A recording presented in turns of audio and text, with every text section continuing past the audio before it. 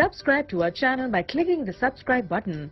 Click the bell button and enjoy the latest uploads from our channel. And welcome to the iPhone SE versus the Samsung Galaxy Note 9 speed test. Now, hold on, I hear the objections already. This makes no sense. Why are you comparing these two? Let's get on with the boot up test. It's because it's been highly requested and it would just be unfair for me not to make a highly requested video to the fans of the channel. Also, if you take a look at last year, iPhone SE versus Galaxy Note 8 speed test, many of you did actually like this test here over 4,000 likes, 300,000 views. And if you're watching this test, the iPhone SE just boot up faster than this $1,000 smartphone on iOS 12, Beta 12, Android Oreo here for the Note 9, and we're also rocking out with Samsung Experience version 9.5. All right, guys, so we have arrived at the application portion of this speed test, what many would say is the actual speed test. Let's go ahead, bring these together because SE likes to slide around. Everything is closed out, and they are connected to the same Wi-Fi network. Let's begin with calendar. You can see that is the Note 9 pretty clearly. Let's go into clock, Note 9 clearly again. What about calculator? You can see Note 9 wins that one. What about settings? That's the Note 9 again. Let's go back over here. Let's go into Instagram. You could see Instagram first on the Note 9. Clicking over here to the profile page, you can see Note 9 definitely ahead for this Instagram in terms of the load time. It did win this. Now, when you're actually in there, it doesn't really matter too much. They both perform well. Let's go into Twitter. And you can see Twitter is first for the Note 9, pretty much wins every time. I don't know when iOS is going to get that updated. Let's go into Snapchat. You can see Snapchat is first for the Note 9. What about WhatsApp? And you can see WhatsApp first on the right. What about YouTube? And YouTube jumps ahead there for the Note 9. Let's go into trending, and that's the Note 9 again, slightly. Both are very fast to load the YouTube. Let's go into Netflix, and you can see Netflix is first for the Note 9.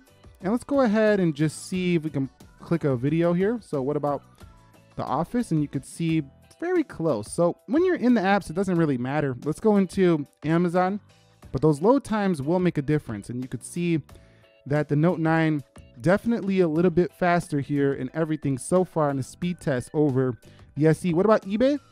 You can see clear jump and win goes to that Galaxy Note 9 there. Let's go into Jetpack Joyride and you could see Jetpack Joyride is ahead here for the Note 9. So casual game so far goes to the Note 9. So let's go ahead and open Slither and you could see Slither is open first for, I didn't even see that one. I think it might have been the SE, but that was a pretty close test. Let me know what you think down below. What about PUBG Mobile?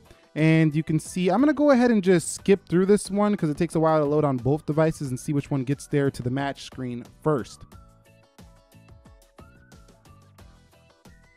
Okay, so as you've seen, the iPhone SE actually loaded to the match screen first, but the Note 9, can it get into the actual match first over the SE? Let's hit star three, two, one, or will the SE win this one as well? Now, it looks like the Note 9 has a jump, but the SE might come back. Let's see which one can actually start playing. And the SE was ready to play first. So this could come down to the optimization of PUBG. It might be better for the iPhone, and that probably would be the case on pretty much any iPhone. Let's go into Video Shop. You could see that's the Note 9 ready to record that video first. What about Geekbench? And you can see Geekbench was the iPhone SE. What about Speed Test? And you could see that was the Note 9. And what about Safari and internet browser from Samsung? Samsung had the low Google, so I'm to call that one about a draw. So for the most part, the Note 9 won in pretty much every area, but loading that more graphically intensive, heavily optimized game, which is probably going to the fact that this is running iOS, not really the fact that it has so much power, it's so powerful. So I would call the Note 9 the winner here in the single core or the single application speed test. Okay, so let's test to see if we get any reloads on either one of these phones. Let's begin with the iPhone SE, go through these apps that we just opened, and you could see Geekbench 4, Nothing Video Shop was ready. PUBG Mobile pause in the match. Slither, we are getting out of there before we get eaten alive. Jetpack Joyride, pretty much ready to go.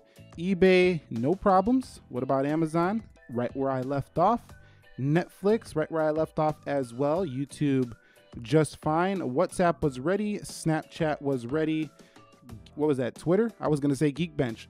Instagram is ready here. A little bit of a slight pause, but that's not a reload calculator. So iOS 12 performance looking good here, and the SE doesn't really choke up at all. Now testing the Note 9, I don't expect any choke ups here as well. This is 512 gigabytes of storage, 8 gigabytes of RAM, Snapdragon 845, and looks like we had a slight pause here for PUBG Mobile. It probably closed the match on us, but I wouldn't consider that a reload. That's probably because the match ended. Let's go into the Jetpack Joyride and I can hear people already. You need 512 gigs, 8 gigabytes of RAM. You need Snapdragon 845 just to compete with an old iPhone. All the haters already. But the Android operating system forever has been able to do more than iOS. So, yes, you need more power on an Android device than you do on iOS. And no reloads so far here for the Note 9. Great performance, and there was absolutely zero reloads there. Just a little bit of the match closed on PUBG, but that wasn't a reload. So I'm calling this test a draw here for the Note 9 versus SE, at least in these applications. I think if you get a ton of tabs open in Safari, the SE will reload those. All right, so let's go ahead and do a quick internet browsing test. I have the nickackermanchannel.com loaded up here. We're gonna hit go in three, two, one, and you can see that the Samsung Galaxy Note 9 ahead there on his first browsing test. And you can see the SE chopping a little bit in comparison. So yes, so far Note 9, a better internet browsing experience. We know it's a better one in terms of the screen size, but I'm just talking about speed here.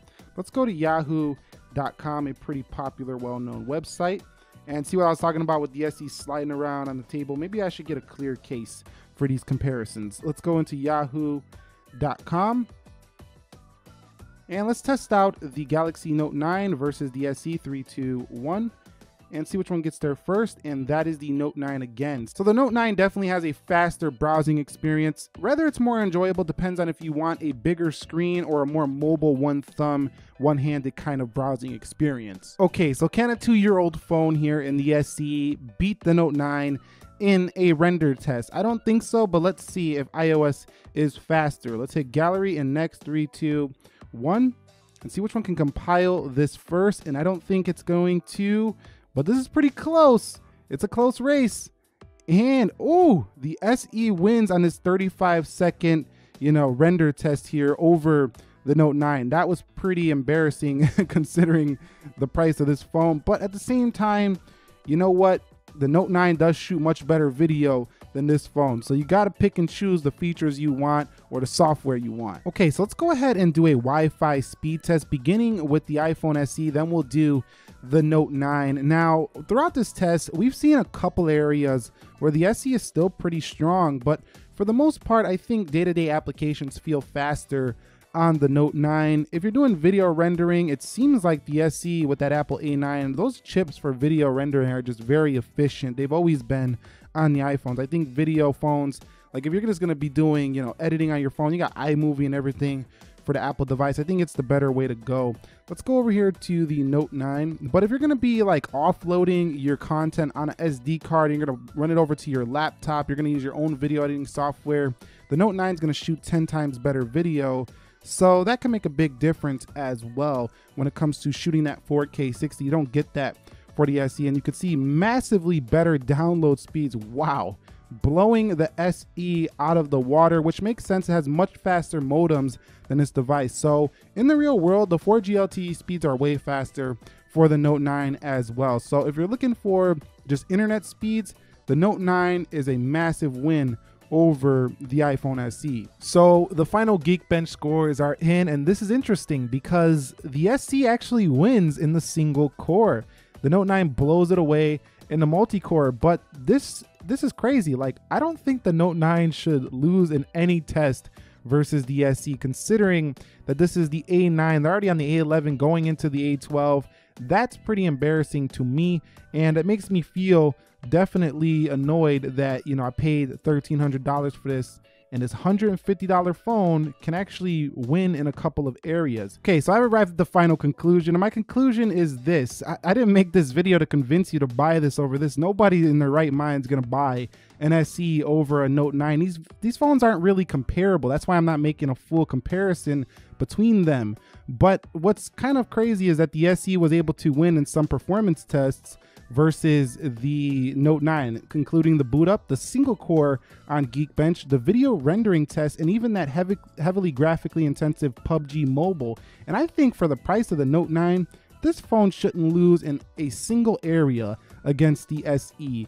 And it probably would lose to the 6S, the 7, in, in those similar areas. So I think still Samsung needs to do some work in making their phones blow away Apple in the speed department. Maybe the S10 is going to do this, but for now, the Note 9 I still think is on the top. It's one of the best phones, king of the Android land, and probably one of the best phones, if not the best phone you can buy right now. And this stuff doesn't really make a huge difference in the day to day. You're buying this phone for the S Pen and all of that.